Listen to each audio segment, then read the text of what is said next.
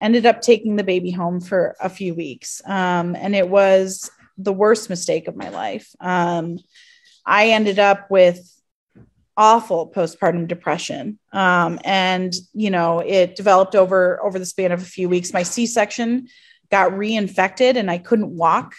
And I had to have this nurse that would come and help me with my wound care. And it was, I remember like begging her to stay because I was so lonely with this baby. And it was awful. And I felt like a monster. You know, I felt like this is what I deserved because of this scenario. Sorry to cry.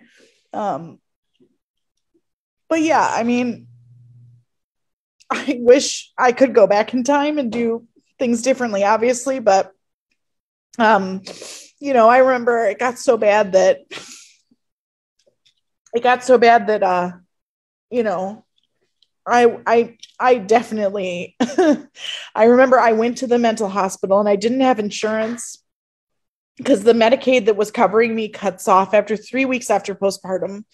And I told them, you know, I, I want to kill myself and I have this baby and I might hurt myself or the baby. And they just told me this is baby blues and this is what it's like.